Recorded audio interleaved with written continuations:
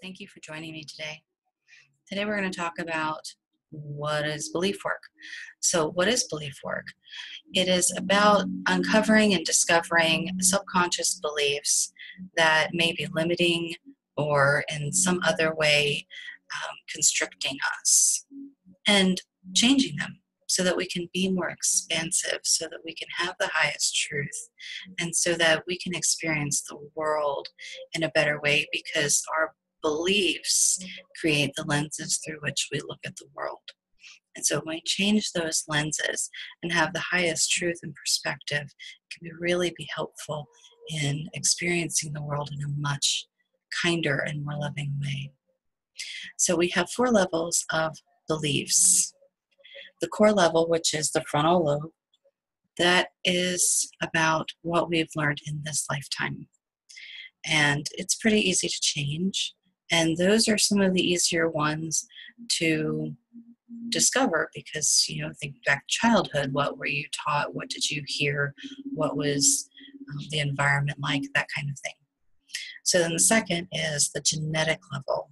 And that is actually if you go straight in and straight in where the pineal gland is, like in the center of the brain. We can access the genetic level through the master molecule that is in the pineal gland. And it's it's really interesting how the genetics can work because over the course of human history, our genetics have taken on programs and beliefs and memories that have kept us alive, kept us safe. And so the world we live in today is really different from that of our ancestors. It's really different even that of our grandparents when they were kids.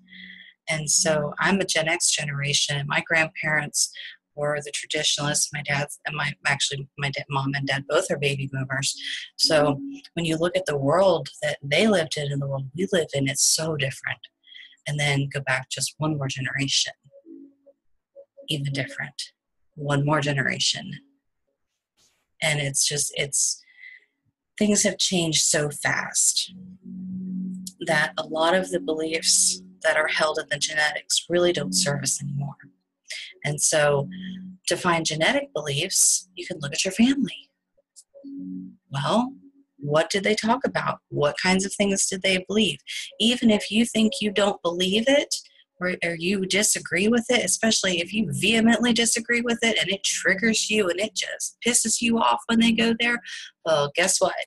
You might want to check the genetic level because if it's triggering you, you probably have it somewhere and it's okay. You can change it. It's it's not a big deal. It's just a genetic imprint, and that can be changed pretty easily and quickly. So then we have the history level. And the history level is typically felt around the back of the shoulders and the back of the neck. And that has to do with very deep genetic programs and past lives, um, ancestral types of things. Um, and it is different from the genetic, even if there's a genetic component or ancestral component. So it's really interesting how things can come up on the history level. I mean, you can, a lot of times you'll feel tension in the shoulders or the neck. You start thinking about something or you hear something and you start tensing up.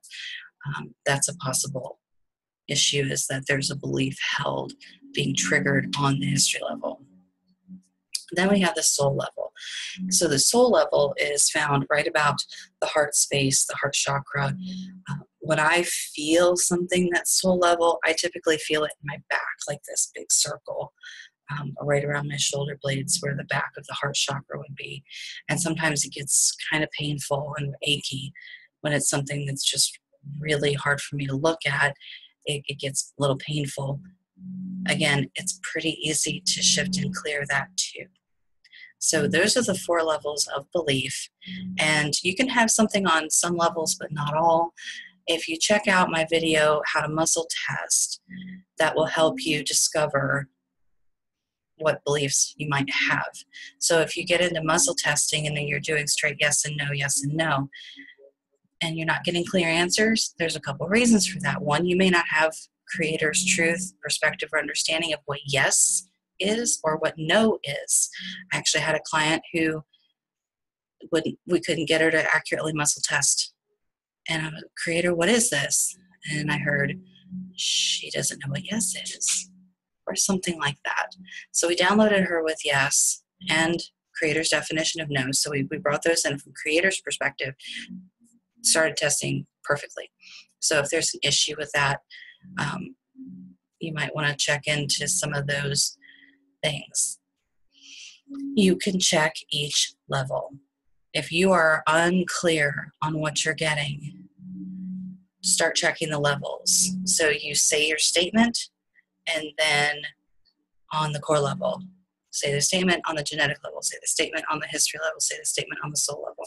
And so that can really help you pinpoint where things might be.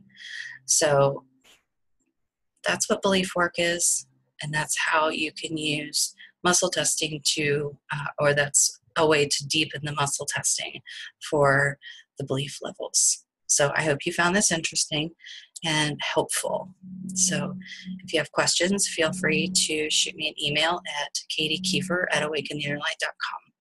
And I'll see you next time.